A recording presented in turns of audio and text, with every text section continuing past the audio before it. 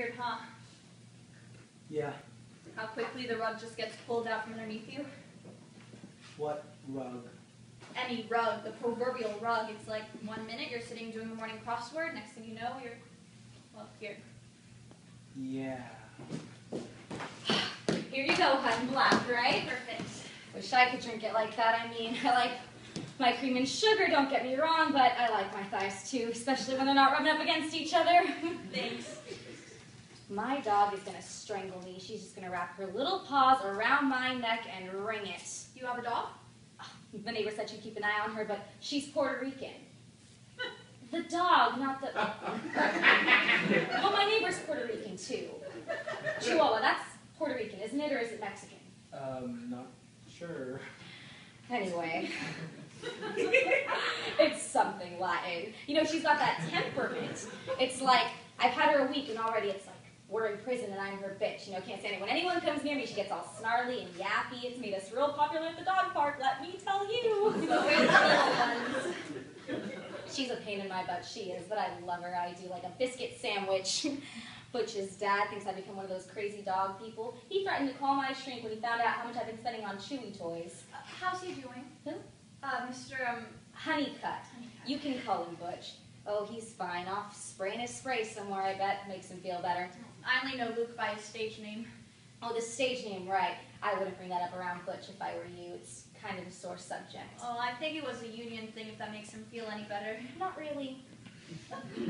now, Brandon, why do you look so familiar? Uh, Luke's Our Town opening. That's right. Boy, my mind's going. It really is. At the sushi restaurant. You know, it's not so much my long-term memory, that's good. My short-term's fine too, it's just everything in between that that's a little fuzzy. anyway, was I flapping my gums all night holding court? You seem to be enjoying yourself. Of course I was. You know what you have to do, Brandy. You have to stuff a nori roll in my mouth, otherwise I'll go on for days. I remember your turban being quite the topic of conversation. Oh no, with the nuts. There were a lot of squirrel jokes. My friend Spike makes those. You know, he uses raisins too, wheat checks, M&Ms, anything you find in a bag of trail mix, Spike uses it. He calls it outsider art, because that's where it ought to be hung. You know, outside, where no one has to look at it. Anyway, I don't talk to him anymore. I mean, what was I thinking? I wore a do-rag my last two years of high school. A do what? Rag, it holds your Jheri curl in place. Shut up. It's true, I got the prom pictures to prove it. Good God, woman. Mm. Also wore snood too, one of those big yarn ones. What the heck's a snood? It's like a sweater for your hair. No, sir. How about you, Brandon? Any skeletons hanging in your closet? Uh, I don't know. Ties, I guess? I only wore red, white, and blue ones every day when I worked in D.C. DC. Now, is that how you and Luke know each other? He was the one to convince me to move up here. Well, that's Luke now, isn't it? Like Tom Sawyer with a can of whitewash. His daddy's the same way. Uh, Brandon works for a big property developer. He's making more money than any of us. Stop it.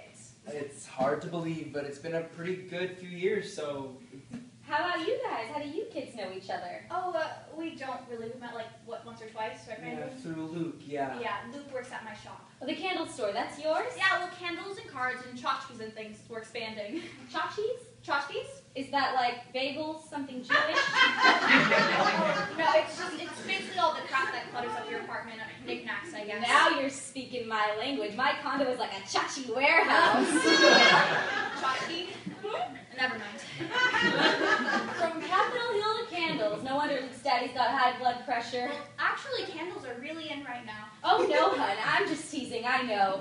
I love candles. You know, Luke buys me a different flavor for every holiday. Just the other day I got my pumpkin spice. That's my bestseller.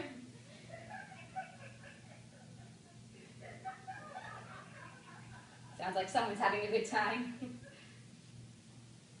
and so, uh, Luke likes it up here? He's having a nice life in New York? He loves it. I keep waiting to see his face on TV again. There was that commercial he did a while back. What was it? Computers or cell phones? DSL. See, now I have no idea what the heck that is either. you must think I'm some kind of hillbilly down there in the boonies swinging my banjo somewhere, huh? I don't know. I don't know what it is either, and I have it.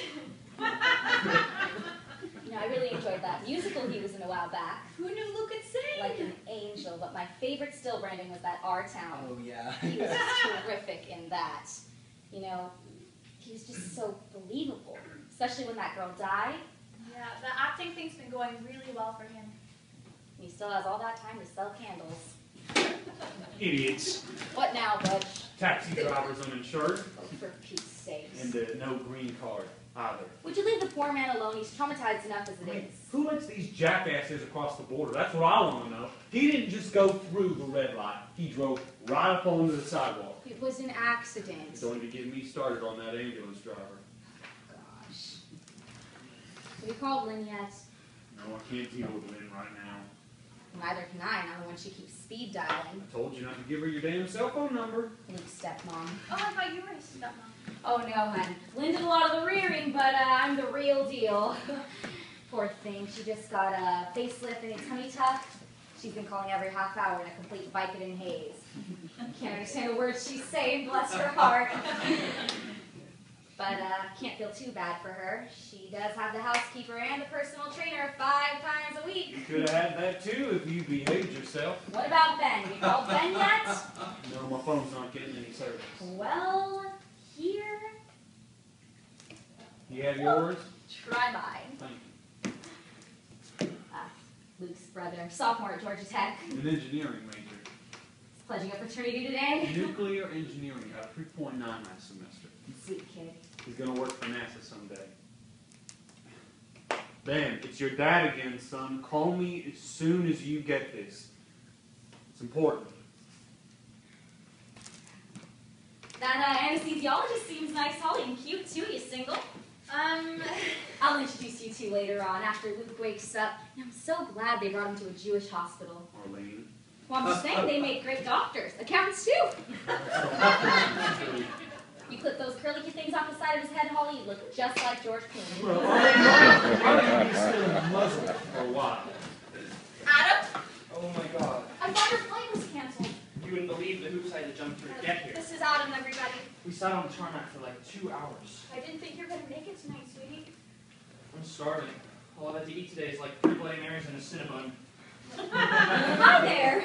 Oh, uh, this is Arlene, Adam, Luke's mom. Nice to meet you. And, and you know Brandon. Hi. Uh, Brandon was the first one to get here. Oh, I only live a couple blocks away. You moved? Two months ago, yeah. And this is Luke's dad.